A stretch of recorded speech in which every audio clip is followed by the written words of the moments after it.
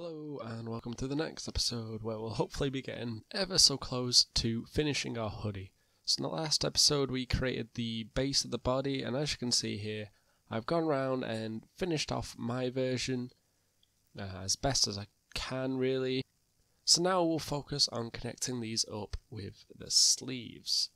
So, for the first thing, I'm going to get my bridge tool and just connect these bits. So I'm going to split these in two. And now I'm going to get my create pointers and create loops going round that will measure up to the arm. And then we'll connect that back in. And then we can connect these up and we can follow this curve along the body. Uh, I'm just going to leave that, that there for now until I do the other half.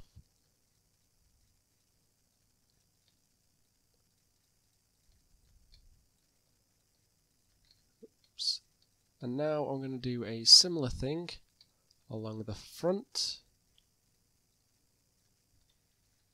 That's just some very quick crude points which I'm now going to go through and make to be a little better. Now I will carry on with making the loops. Again, I'm just going to continue like this. And as you can see, now the loops are getting, I guess, less loopy and connecting to the rest of the body. So we can finish that up. And we're going to connect up to here. So this is sort of the pattern that in the end we want to follow is connecting everything up to this point. So now I'm at a point here where I've got the loops going around the arms and I kind of need to know what the pattern's forming. So I'm just connecting all these body points together.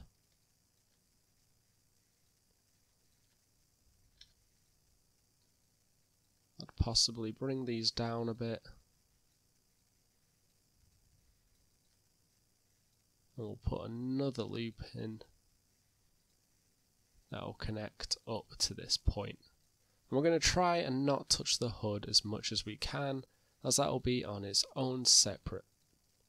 We're going to try and well we're just going to do that later basically. So I can make a quad there, a quad there, and I'm not going to animate the hood or really give it much depth so I can just make a very static version of the hood. So as you can see, I'm just going underneath the hood with these points. And then using that, I'll be able to just build on top.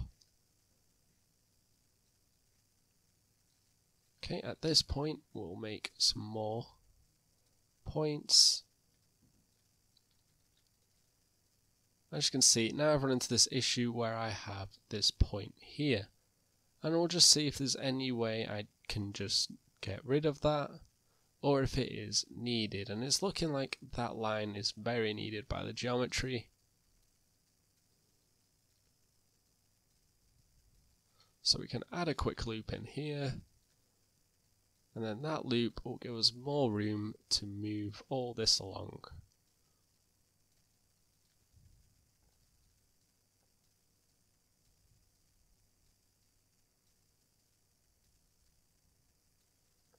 Again, there is quite a bit of detail in our hoodie here, but this is mainly for a main character.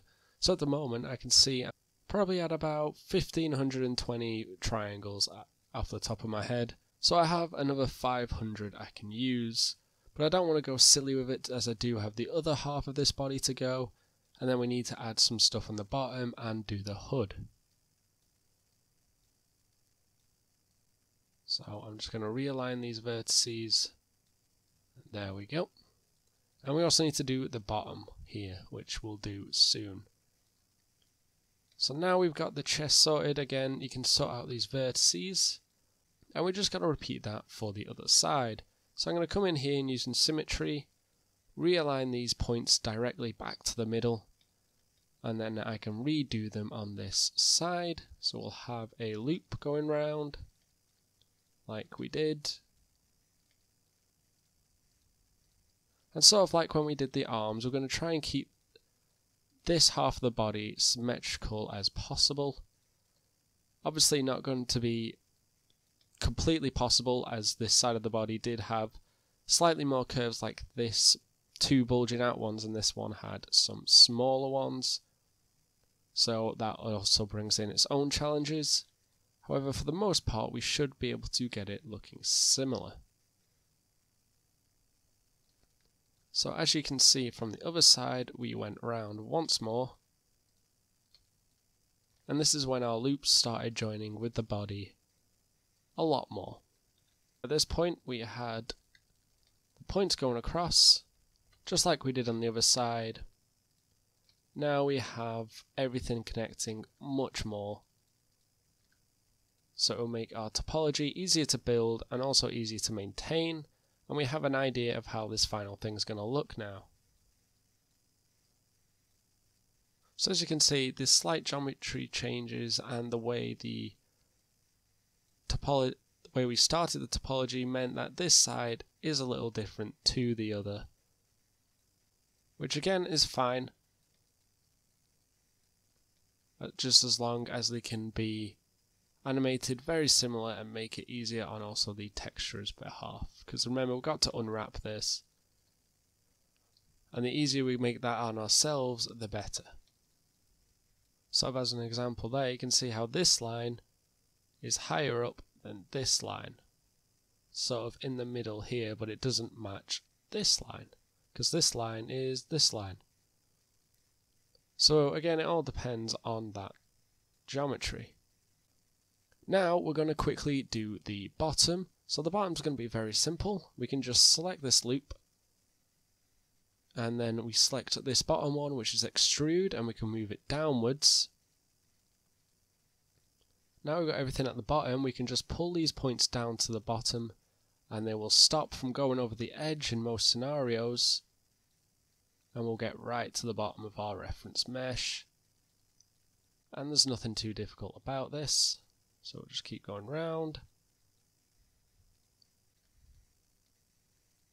So I can show you the difference topology. As you can see, this loop here is completely different to this loop here. It sort of enters this stage a lot earlier than this one does. So that's something we need to fix.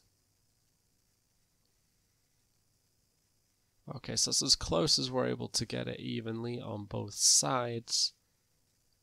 As you can see, there is a bit of a change, but the change shouldn't matter all that much.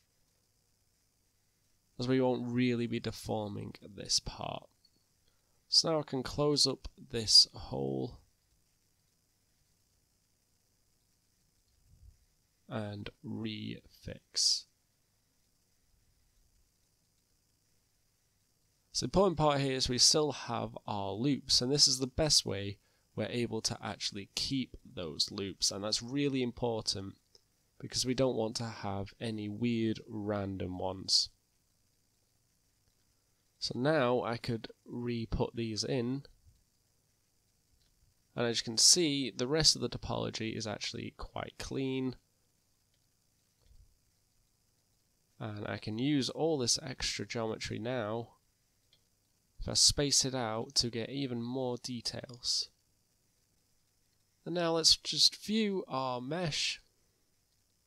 And I'd say that's looking pretty well, pretty high def, and if we baked some textures and that into it, it'd look very good. So in the next video, we'll finish this off by creating the hood. We're just going to do that very simply, doing the outside, not the inside, as we won't be able to see them from our character and then we'll go into baking the textures and texturing. So I hope you enjoyed the video.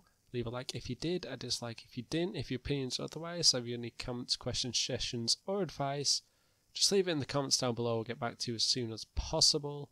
And as always, don't forget to subscribe if you want to see more. Thanks, guys.